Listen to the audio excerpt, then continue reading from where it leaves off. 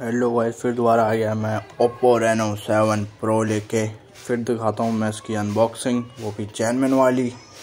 इसे फाड़ा पेपर निकाला, इसमें से निकाला फ़ोन फ़ोन देखना दोस्तों, कैसा यूनिक सा फ़ोन है।